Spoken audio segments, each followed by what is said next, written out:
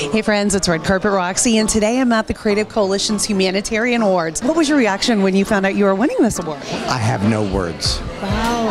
I have no words. I tell every child I have ever met, whether they want to hear it or not, how you learn has nothing to do with how brilliant you are. Why should people get more involved in this organization? Well, to me, the arts are just, you, you can't underestimate how important it is. I mean, it goes into everything. Design goes into everything.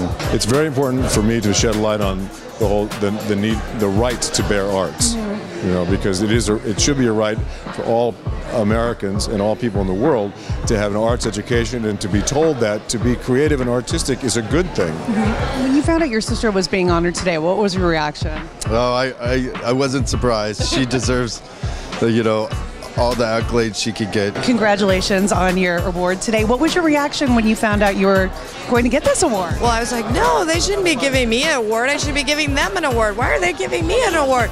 They do such an ama- amazing work, you know, advocating for arts funding and making sure that the arts aren't cut out of every budget. They go to DC e- all the time and lobby and meet with Congress people to explain why the arts make sense, not just as part of the fabric of our culture. And and something that we have so should have so much pride as Americans in, but also the economics of the arts and how much taxes come in from the arts and how many jobs the arts supports. I feel really good. I'm really, I'm actually literally and figuratively honored. It's an amazing group of people. Um, it's amazing to be on television and be able to influence people to give back and to help and to be able to help other people in their time of need and to be uh, recognized for it is really, really, really sweet and loving.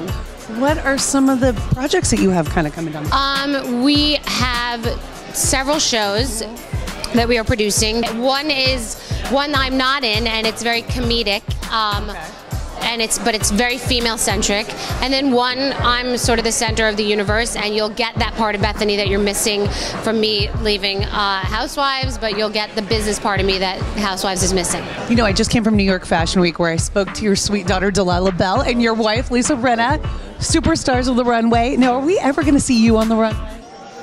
Well, maybe if I'm flying a plane, I might- you might see him on, on that runway. But you have a very big fan, and that is Kim Kardashian, who loves your books, who you've known since you, she was a kid. I've known her since she was in high school. Right. She was in my backyard with her sister Kourtney and my daughter Zoe. And as lovely as they were then, they are now. Oh, that's wonderful. And that is true. They're that lovely. They're that lovely.